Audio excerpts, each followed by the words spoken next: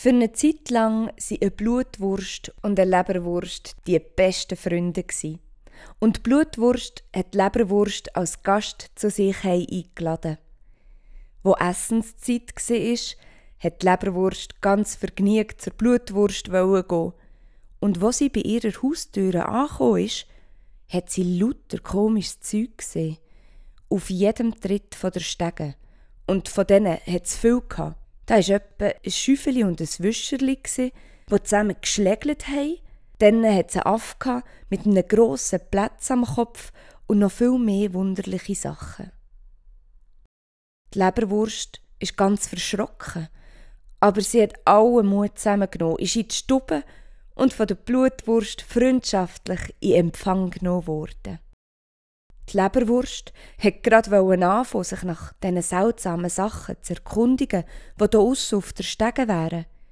Die Blutwurst aber hat so da, als würde sie sie nicht hören oder als hätte es keinen Wert, darüber zu schwätzen.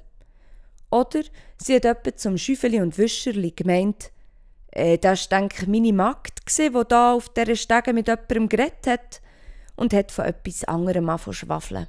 Darauf ist Blutwurst raus und hat gesagt, sie müsse zum Essen schauen, ob alles super angerichtet und nichts in die Asche geschossen worden ist. Wo die Leberwurst unterdessen in der Stube hin und her gelaufen ist und ihr die seltsamen Sachen nochmal durch den Kopf sind, ist jemand, man weiss nicht, wer es war, reingekommen und hat gesagt, ich warne die Leberwurst, Du bist in einer Blut- und Mörderhöhle. Mach schleunigst, dass du wegkommst, wenn du dein Leben gern hast.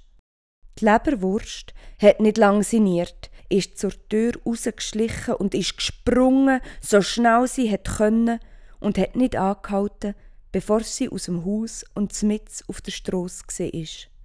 Da hat sie sich umgedreht und hat die Blutwurst oben im Bodenloch gesehen stehen mit einem langen, langen Messer, wo blitzt hat, als wär's frisch gewetzt worden. Und sie hat damit droht und abgerufen, hätte die, so wette die. Hätte die, so wette die.